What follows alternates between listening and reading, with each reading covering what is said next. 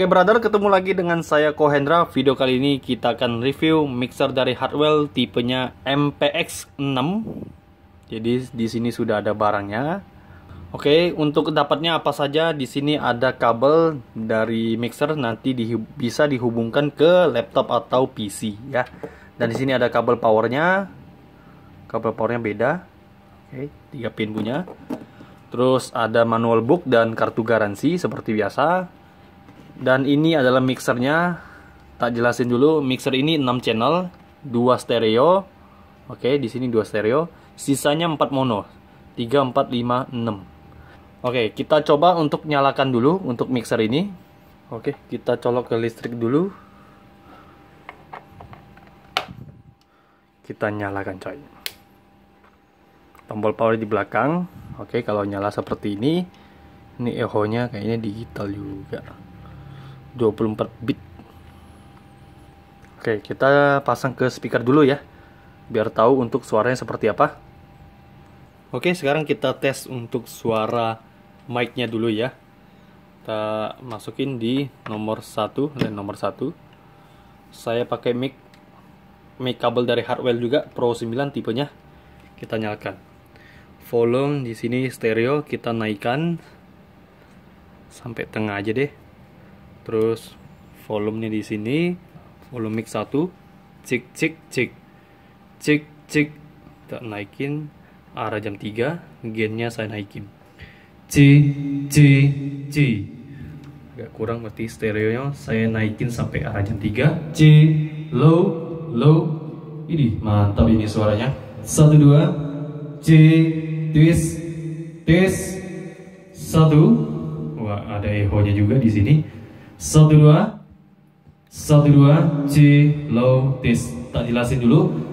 Mic line nomor satu di sini ada tombol PAD dan high pass filter 80 Hz dan di sini di bawah knob warna hijau ini adalah gain dan knob warna kuning ini high high itu tweeter dan knob warna kuning di bawah ini adalah low low itu bass.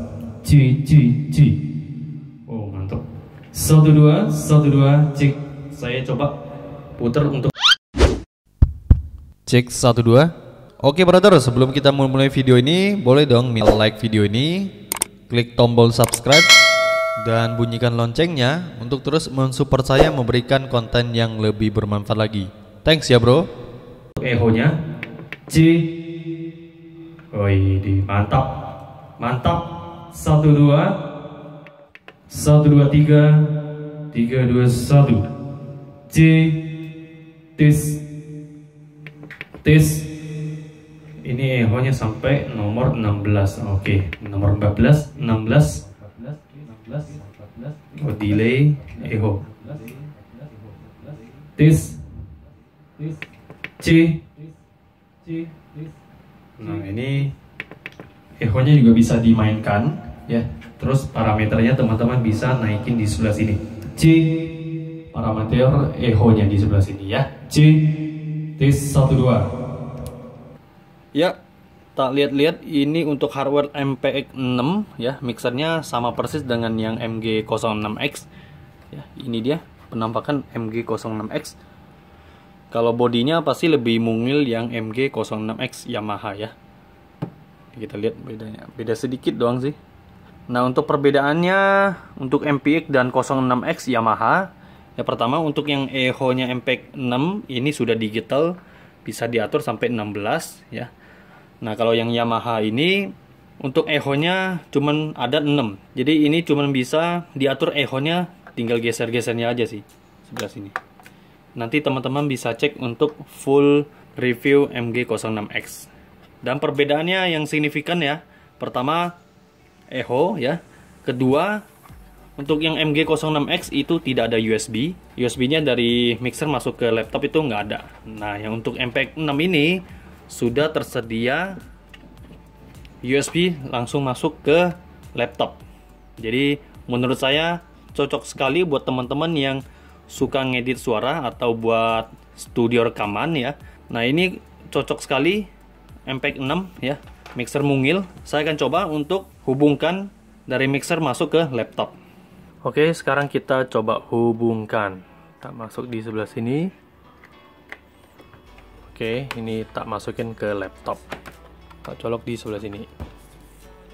Untuk aplikasi recordingnya langsung saya pakai yang Adobe Premiere Pro ya. Untuk USB teman-teman tekan aja untuk uh, tombol yang merah ini. Nanti kalau ditekan buat langsung PC masuk ke sini. Dari mixer masuk ke laptop ya. Oke sekarang kita tes dulu. Nih C C C. Ini suara sudah masuk. Satu dua cekis suara yang di mixer sudah masuk. Nah teman-teman nanti atur volumenya di sebelah sini nomor 56 ini. C. Oke. Sekarang kita coba record. Satu dua C loudis satu dua C loudis suara percobaan menggunakan mixer MPX 6 hardware oke mantap. Kita coba puter ya. Saya naikin gennya lagi.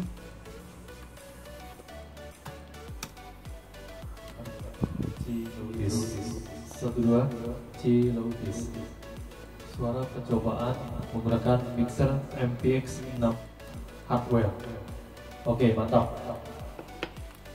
Nah ini recording sudah bisa masuk ya ini suaranya tadi satu dua dan sekarang kita tes untuk suara musiknya jadi kita muter musik melalui laptop oke okay.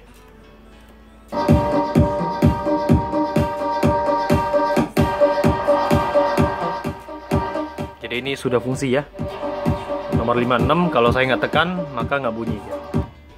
oke okay.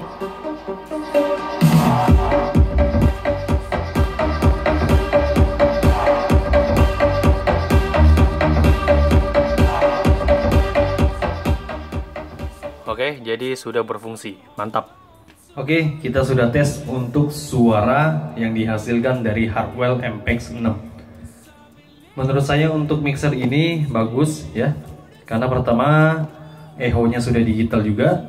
Uh, kita bisa atur echo-nya di display sini. Putar knobnya sebelah sini ya. Menurut saya untuk mixer ini cocok buat live musik juga ya karena mixer ini sudah mungil, fiturnya banyak dan tidak perlu ribet untuk bawanya ya. Cukup satu mixer ini teman-teman sudah bisa live musik. Terus misalkan teman-teman nanti mau tambahan ada alat elektron lagi ya, atau gitar, teman-teman bisa masuk di sebelah sini, oke? Okay? Dan mixer ini juga cocok buat pakai sound card ya atau dijadikan sound card ya karena ada USB langsung tadi kita juga sudah tes untuk recordingnya ya. Meskipun juga ada noise sedikit ya. Mungkin pengaturan gen dari mixer dan software yang di Premiere Pro yang kebesaran makanya dia agak noise sedikit. Itulah. Oke itu saja untuk review mixer hardware tipe MPX 6 terima kasih sudah menonton video ini. Jika ada pertanyaan silahkan tinggalkan komen di bawah. Untuk pembelian barang teman-teman nanti bisa langsung cek di Bukalapak saya, oke? Okay? Tetap subscribe di channel Kohendra buat mensupport saya memberikan konten yang lebih bermanfaat lagi. Seperti biasa jika ada koreksi atau masukan teman-teman juga bisa tinggalkan komen di bawah. Akhirnya saya Kohendra, thanks for watching.